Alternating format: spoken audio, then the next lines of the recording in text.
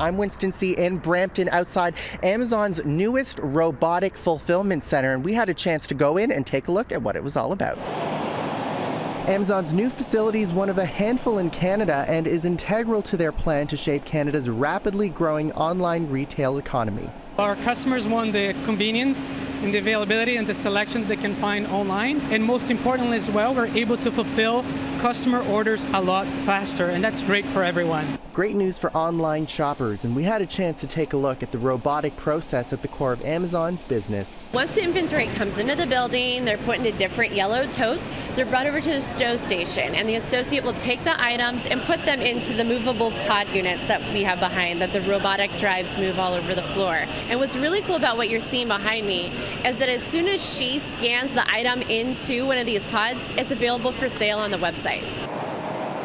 Robots are uh, great technology, they're a lot of fun, and they really help us improve the speed of delivery to our customers.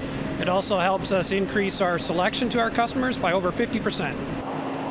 The picking station is really fun because that's once once the customer order has come in, then it'll show up in our system and an associate will pick that item and put them into the tote to head over to the packing station. At the packing station, the associate will take the item out of the yellow tote. She'll scan it. The scanner will show her which box is the best size for that particular item. She'll put the item in, take some of the bubble wrap, make sure that all the item is safe and protected as the so it gets to you in one piece.